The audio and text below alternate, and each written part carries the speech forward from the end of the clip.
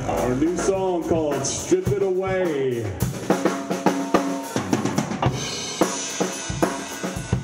All right, here we go. Strip it away, baby.